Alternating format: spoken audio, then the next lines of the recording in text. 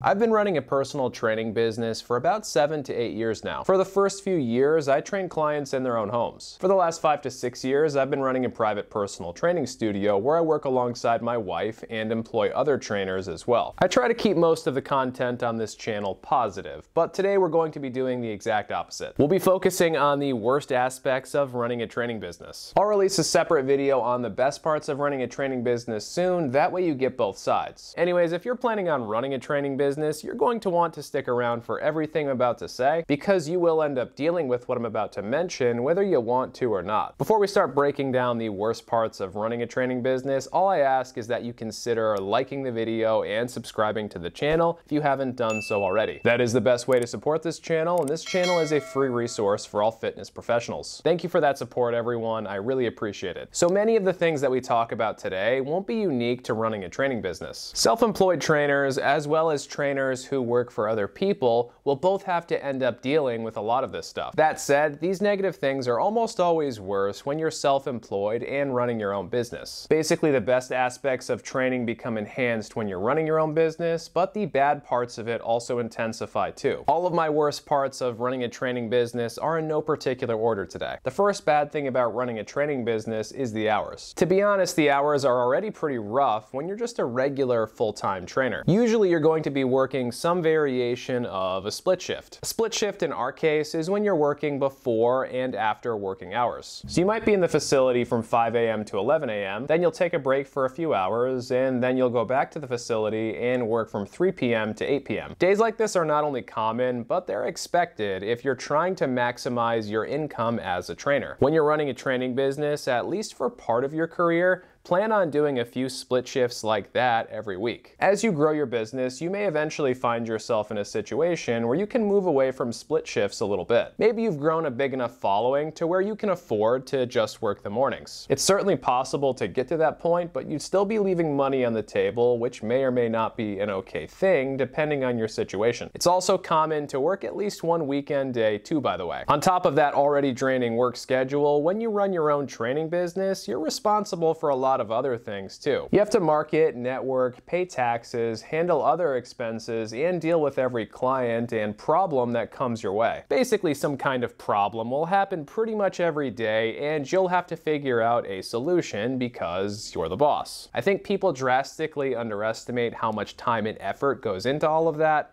but trust me, it's a lot. If you know small business owners, you may have heard something like this before. But when you run a business, you're never off the clock. You're always on no matter what. It really is mentally and physically draining. Some people thrive in that sort of environment and others can't handle it. The simpler your business, the easier it is. But still, this lifestyle isn't for everyone. In fact, I would say it's not right for most people. The next worst part of running a training business is the hard initial start. The initial start being challenging applies to self-employed trainers and trainers working in a more typical fitness setting as well. Just like with the hour situation though, trainers working for themselves have a tougher start ahead of them. Acquiring clients in most typical gym settings is like playing a video game on medium mode. It's usually somewhat challenging, but there are clear things that you can do to improve your odds of signing people up for your services. You always have access to a number of people who are using the facility. Some of these people will want personal training and some won't. That being said, pretty much everyone working out in the gym is a potential lead in one form or another. Even people who aren't interested in your services could still refer people to you if you play your cards right. When you go off on your own, you usually lose most or all of your ability to acquire clients or leads from the gym floor. You won't have anyone feeding you those free initial training sessions or assessments when someone first signs up for a membership. When you're on your own, it's all on you. Things definitely move to hard mode when you're working for yourself. Now, if you're really good at what you do and you're willing to tough those challenges challenging initial months out, usually you'll be able to make things work. I don't put nearly as much time, effort, or money into acquiring clients these days. I'm more focused on other things. So I'm well past that hard initial start, and you could be too if you attack things the right way. Speaking of doing things the right way, I've got a whole bunch of videos that cover starting a training business, acquiring clients, etc. If that's what you want to do, this video on starting a training business is a great place to start. Another one of the worst parts of running a training business business is being a manager. Most customers are great to work with and you'll never have any issues. One out of 10 though, give or take, will be an absolute pain in your ass.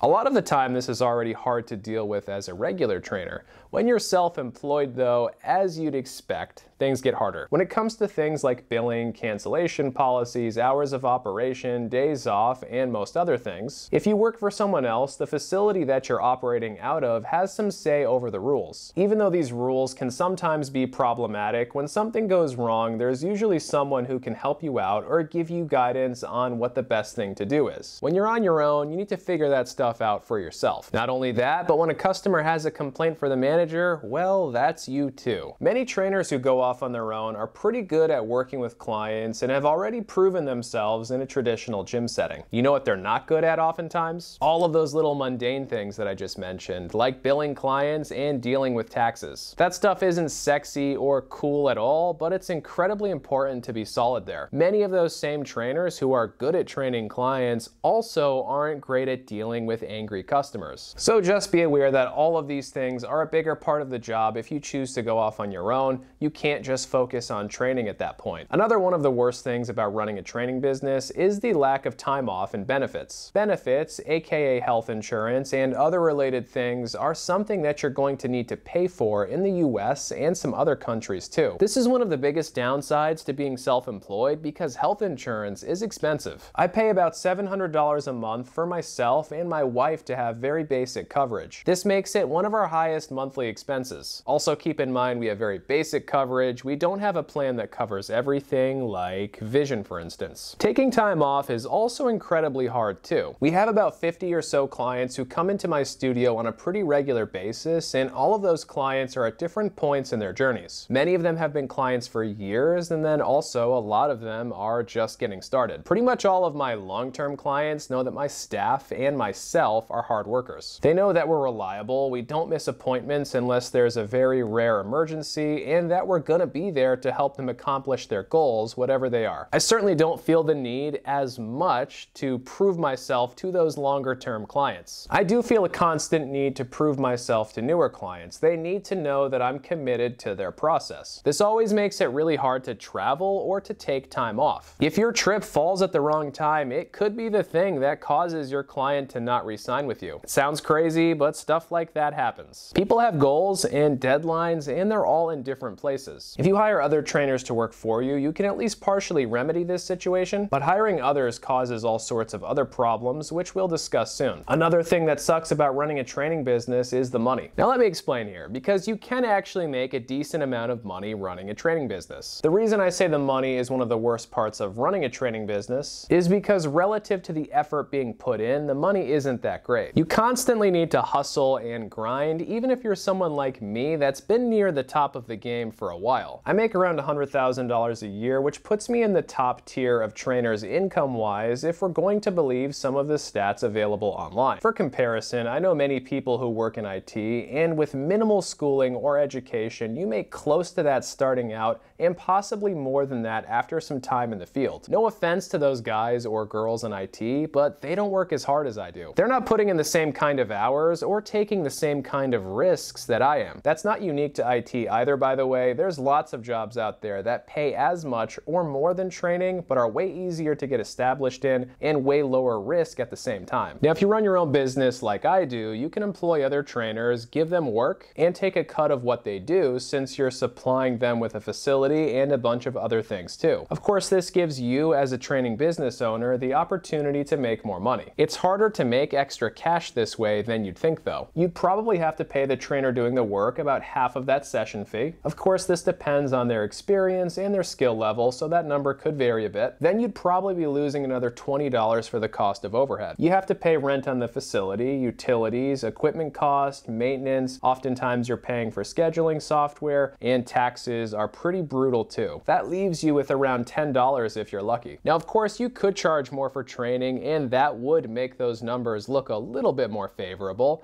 but you get the idea. Even if you run a facility doing a lot of training, it's going to be tough to make a ton of money. There are much easier ways out there to get rich. I have a bonus thing that sucks about running a training business, and this is a bonus thing because it won't apply to most of you. But building upon everything I just said, working with employees does kind of suck when running a training business. Now, unfortunately, I'm sure to offend some of you with what I'm about to say, but I am going to say it anyways. The biggest reason why running a training business and employing other trainers sucks is because many, possibly most trainers aren't all that serious about the job. This probably won't apply to many of you watching right now because here you are at the end of a trainer education video. But yeah, I'd say based on my experience, more than half of trainers are hobbyists. They get into training because they like working out and it's easy to get into the field. They're not thinking that much about what they're actually going to be doing while they're working as a trainer, which is sales and client interaction, especially in the beginning. They're not thinking about how crazy the hours are going to be or how hard those first few months are going to be. At least many trainers aren't thinking much about those things until they're already in the field. Then after dealing with all of that for a few months, they're like,